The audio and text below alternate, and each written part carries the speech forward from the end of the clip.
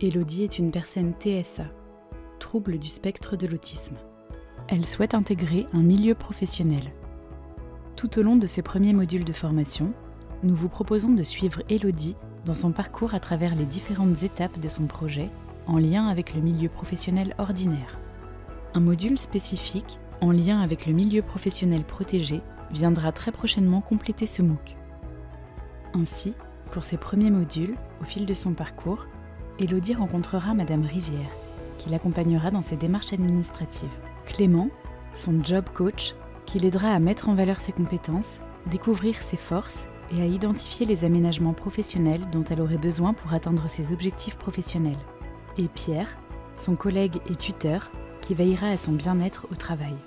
Vous allez pouvoir bénéficier, tout au long de ce MOOC, d'apports théoriques alimentés par des témoignages de professionnels et de personnes concernées. Je commence euh, à faire les encaissements avec ma responsable de salle et j'y arrive totalement.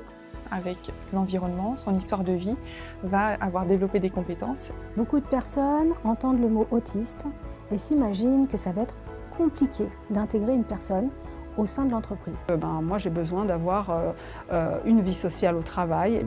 Compréhension des uns et des autres va permettre de pouvoir construire, dans un deuxième temps, quelque chose ensemble. Venez explorer nos modules, conçus pour accompagner Elodie dans sa démarche.